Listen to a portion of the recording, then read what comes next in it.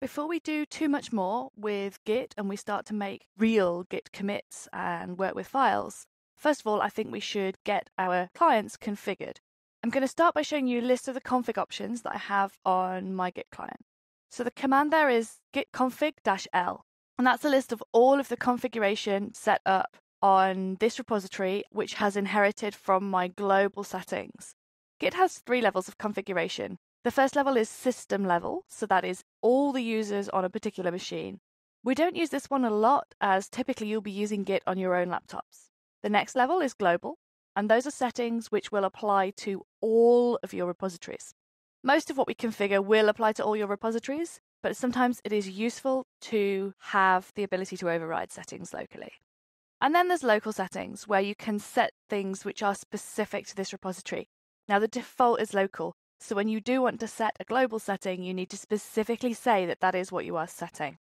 We'll start with the basics. So we're going to look at, first of all, setting your username and your user email address. This is really important because those details are associated with every commit that you make. And if they're not set correctly, or if they're default to whatever is your system settings, then you may find that either your access control doesn't work or you're not getting credit for your commits on GitHub, for example. So to set something like this, if I change my username for a moment, then you would do git config. Now, username is typically a global setting. So to set a global setting which will be used for all your repositories so that you don't have to configure it every time, we use the dash dash global switch. And then we do user.name and then the value that we want to set it to. So I'm just going to use a Jane in my name, which I sometimes do. There we go. It just comes back, doesn't show you any output, but you can check the setting by saying, what is the config? And it will come back and tell you. So if you run the config command without setting the value, it will get the value instead, show you what it's currently set to. You can also use local settings, so git config without the dash dash global, and I would use that typically for things which are not the same on every repository.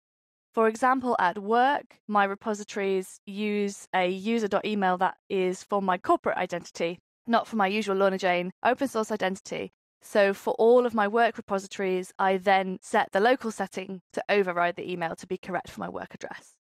So that's quite a good example. Here you can see I'm setting things on the command line. That's for a couple of reasons. One is I usually use Git from the command line, so this is my tool.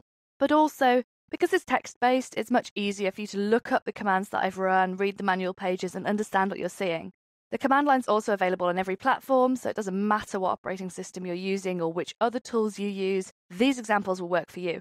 Am I advocating you using the command line?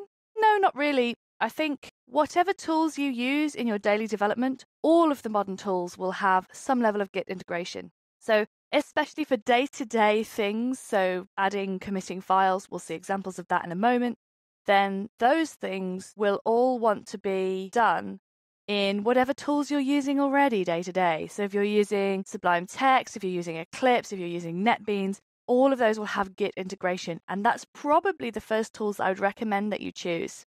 If you find that you don't get on with those tools, there are some specific Git tools which could be really, really useful. SourceTree is a good Git specific tool. Tower is another one. You could also try the clients that GitHub have released, and that's for Mac and for Windows. They've got GUI clients, which might be a good choice for you. So just keep trying different clients until you find something that you can be comfortable with. For this course, we'll continue to use the command line. It's much easier for you to use and to follow what's happening. That's why I've picked that for these examples. A couple more config settings that I want to mention before I move on. Those are the core.editor and the auto CRLF settings. So, core editor is which editor would you like to use when you need to edit a file for Git? Usually, this will be writing a commit message. It can be a bunch of things. It gets very text based.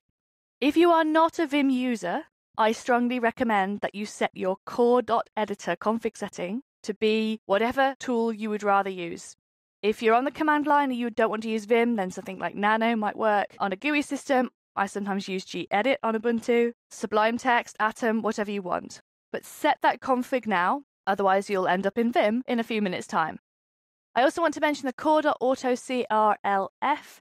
This is to do with line endings, and it's quite important to get it right, particularly because when you're collaborating with people using different platforms, which hopefully we will be, different systems use different line endings, it can be very confusing. It can look like lots of things have changed when actually just the line endings have changed.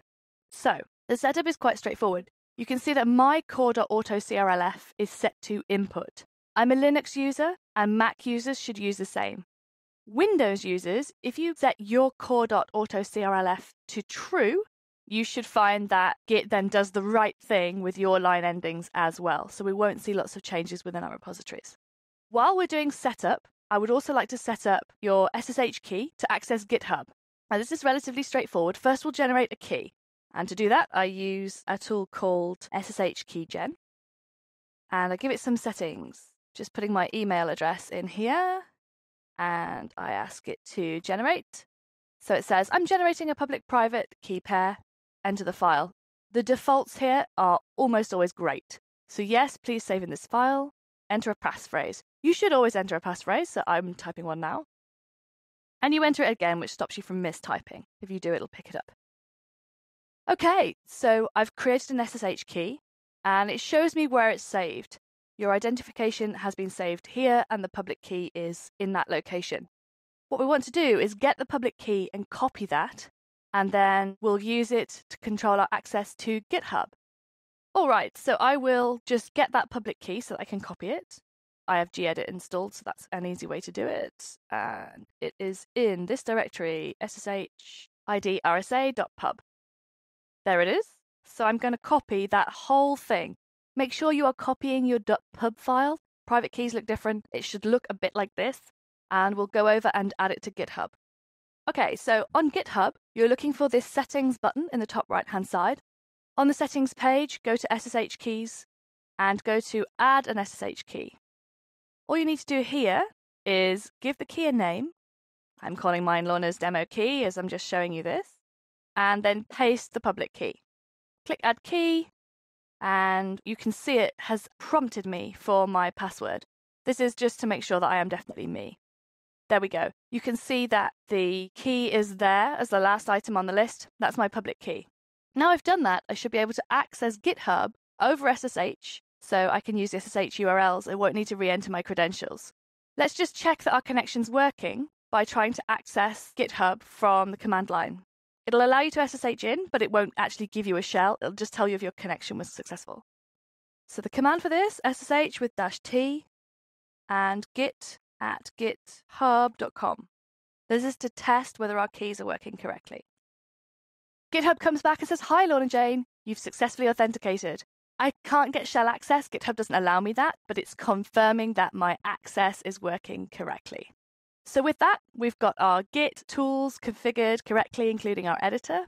We've got our SSH key created and set up on GitHub, and we're all ready to go ahead and do the next sections using Git to work with our web development projects.